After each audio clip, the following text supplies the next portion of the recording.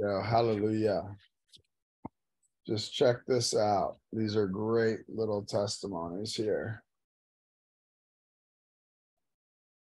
I am 10 days along in a fast. Before fasting, I had asthma so badly I was miserable most of the time. Jesus came and healed me completely on the sixth day of fasting. I am so happy and I rejoice that he has been so very real and precious to me in this fast.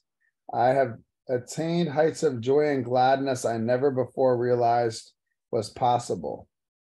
My fast is turning out exactly like the book, Atomic Power with God, teaches. About the third day, my hunger left. Now I am over my weakness and I feel stronger than I've ever felt in my life. I have lost 13 pounds and hope to fast at least 14 days. I have four more days to go and I feel better spiritually than I have ever felt in my life. That's from the Fasting Prayer Book by Franklin Hall. All right, all right, all right. One more. Long fast and renewed body and soul. A gentleman fasted 31 days at the age of 70.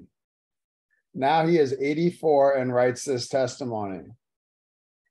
I'm glad for what fasting has done for me. At 70, I took my longest fast, 31 days.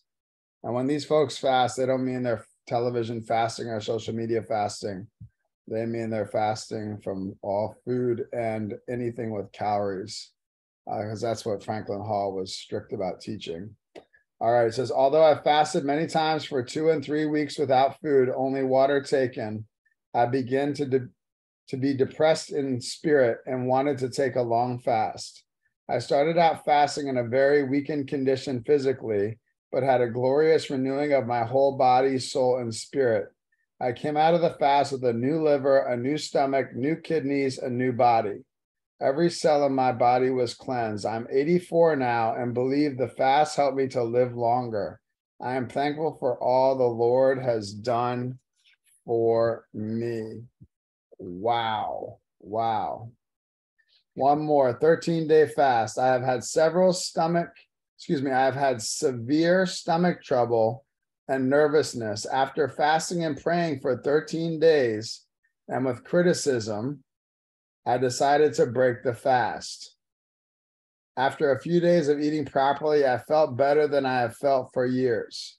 A number of things cleared up. I only regret I did not fast longer. I had some pains in my muscles while fasting, but now I know this was a normal condition of the fast. Jesus, thank you, Lord. That's from Franklin Hall's book, The Fasting Prayer. We continue to pray in the Holy Ghost. I'm unmuting the lines and putting the music back on. Praise the Lord.